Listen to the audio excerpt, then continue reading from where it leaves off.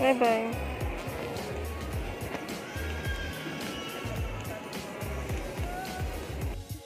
Ang best mo naman maglakad. Ang magtak...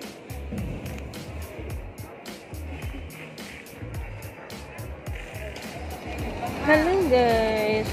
Andito na kami ngayon sa airport papuntang Zamboanga City. Tapos na kami mag-check-in and nag-check na din po ako ng mga baggage namin po ilang kilos kasi may free kaming hello 7 kilos per passenger.